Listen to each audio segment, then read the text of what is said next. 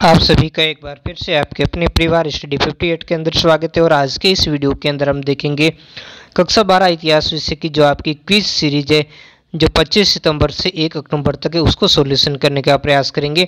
इसमें कुल आठ क्वेश्चन है, उस आठ क्वेश्चन के हम आंसर को यहाँ पर सोल्यूशन करने का प्रयास करेंगे।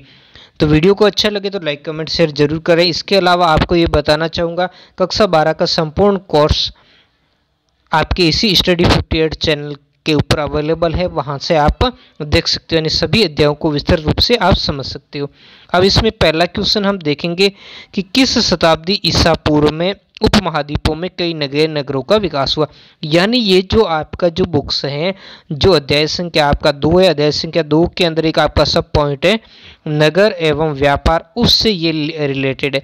वहाँ से संबंधित ये आपके यहाँ पर क्वेश्चन दिए गए या उपमहाद्वीपों का मतलब जो भारत की बात हो रही है तो क्या चौथी शताब्दी ईसा पूर्व में, पाँचवीं शताब्दी ईसा पूर्व में या छठी शताब्दी ईसा पूर्व में या इनमें से कोई नहीं सही? तो इसका सही होगा छठी शताब्दी ईसा पूर्व में। इस समय भारत के अंदर क्या हुआ? नए नगरों का निर्माण हुआ। ये महाजनपद काल के नाम से इसको हम जानते हैं। यहाँ पर इसको द्वितीय नगरीकरण के नाम से भी जानते हैं, क्योंकि पहली बार नगरीकरण हड़प्पा सभ्यता के समय हुआ था और दूसरी बार इस समय नगरों का विकास हुआ था।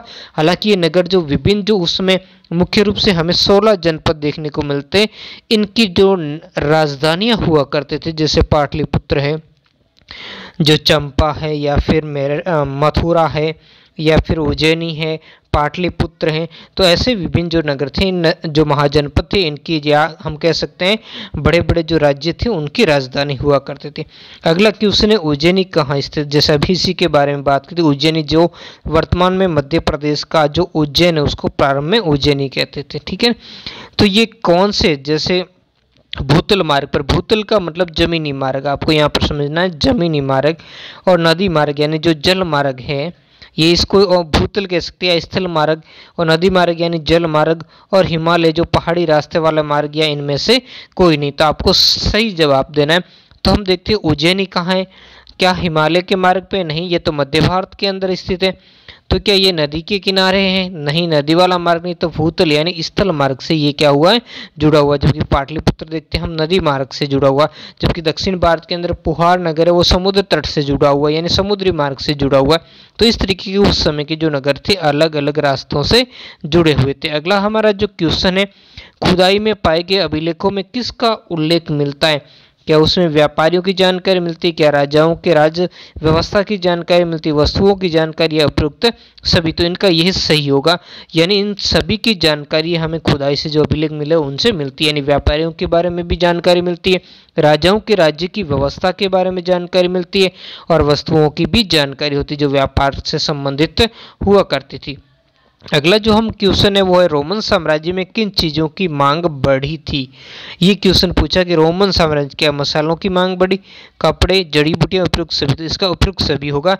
यानी रोमन साम्राज्य ये कहाँ से? भारत से मंगवाते थे। मसाले, काली मिर्च कपड़े, जड़ी बूटियाँ आदि। तो ये कौन मंगाते थे? ये रोमन साम्राज्य के लोग भारतीय साम्राज्य से इन वस्तुओं का आयात किया करते थे और बदले में भारत में सोने, चांदी, हीरे, ज्वारात आता था, जिससे भारत की आर्थिक समृद्धि भी बढ़ी थी।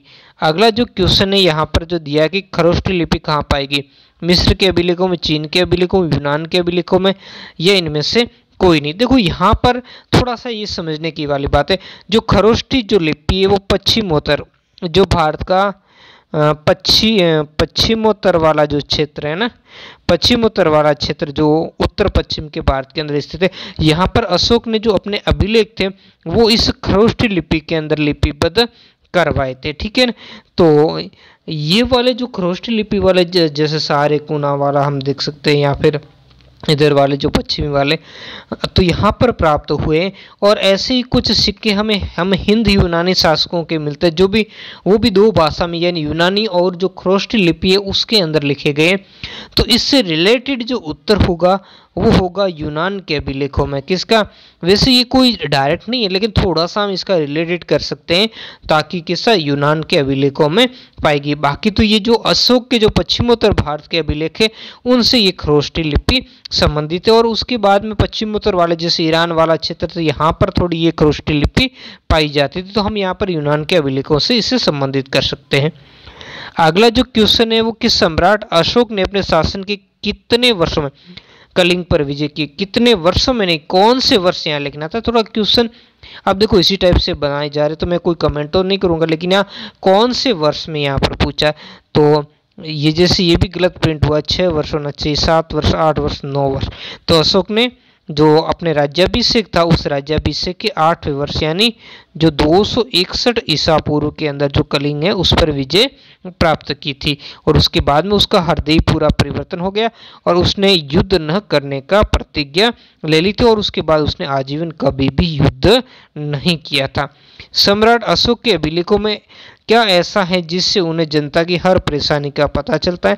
उनके कार्यों के कारण उनके सलाहकारों के कारण या उनकी राजव्यवस्था क्या इनमें से कोई नहीं। तो उनकी राजव्यवस्था क्या तो अशोक ने एक ऐसी प्रजा हितेशी राजव्यवस्था की स्थापना की थी, जिसके माध्यम से उसे जनता की हर परेशानी यानी जनता के हर दुख दर्द, उस दुख दर्द की जानकारी उसको क्या होती थी, अशोक को प्राप्त होती थी और उसका निराकरण भी वो हाथों हाथ करने का प्रयास करता था। इसके लिए उसने युक्त राजुक आदि जो महत्वपूर्ण अधिकारी हुआ करते थे, उन अधिकारियों की उन्होंने नियुक्ति कर रखी थी। अगला जो क्वेश्चन है प्रियदर्शी का क्या अर्थ है? ये अंतिम क्वेश्चन है। क्या वो जिसके देखने, जिसके दर्शन सुंदर हो, जो बहुत प्रिय हो जो बिल्कुल सुंदर न हो या उपयुक्त सभी तो उपयुक्त सभी तो नहीं हो सकता। अब जो बिल्कुल सुंदर भी नहीं हो सकता, अब दो ऑप्शन आपके सामने तो प्रियदर्शी का तो मतलब ऐसे देखने में सुंदर होता है। तो यहाँ पर इसका सी होगा, जिसके दर्शन सुंदर हो तो उससे ये रिलेटेड यहाँ पर तो ये कुल आठ क्वेश्चन थे, जिसको मैंने आपके सामने सोल्व करवाया था। आशा करता हूँ वीडियो आपको अच्छा लगा होगा। अगर अच्छा लगा तो चैनल को सब्सक्राइब ज़रूर करें, वीडियो को लाइक कमेंट शेयर ज़रूर करें। धन्यवाद।